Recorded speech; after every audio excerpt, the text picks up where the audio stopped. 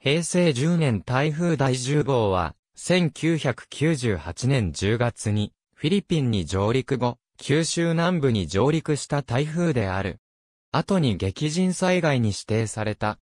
この年の台風の日本上陸は、5号7号8号に、次いで4個目であり、台風発生数が16個と非常に少ない割に、日本への上陸数が多かった。新ロズ1998年10月11日、マリアナ諸島の再海上で台風10号が発生。同日9時頃にカテゴリー5に達し、同日21時頃にフィリピン大気地球物理天文局による解析でスーパー台風となった。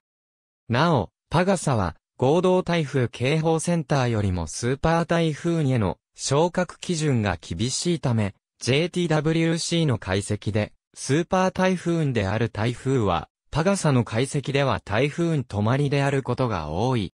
故にこの台風は、数少ないパガサ解析でのスーパー台風の一つである。台風は、発達を続けながら進み、14日から15日にかけて、台湾の東の海上を北上。その後南西諸島の北の海上を北東に進み、17日16時半頃に、鹿児島県枕崎市付近に上陸した。台風は、九州南部から、日向灘へ進み、17日21時頃に、高知県宿毛市付近に再上陸し、四国を経て18日0時頃に、岡山県玉野市付近に再上陸。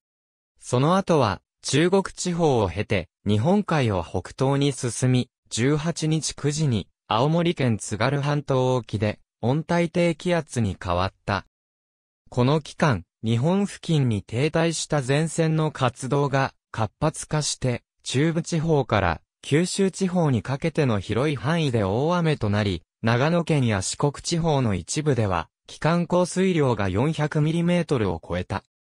また、和歌山県和歌山市で、最大風速秒速29.3メートルを観測するなど、西日本や南西諸島を中心に、最大風速が秒速20メートル以上となったところがあった。17日には、沖縄県紀安岬で7.82メートルの有、義波高を観測している。兵庫県や香川県では、高潮による浸水被害も発生した。この台風は、台風10号としては1951年からの統計史上最も遅い日時に発生したため、台風10号という発生の順番が早い台風でありながらも、日本への上陸日時が遅かった。しかも、台風10号の10月以降における発生はこの年のみであり、前例がなかった。ちなみに、1977年以降で8番目に暴風域が大きかった台風でもあり、その直径は 800km に達した。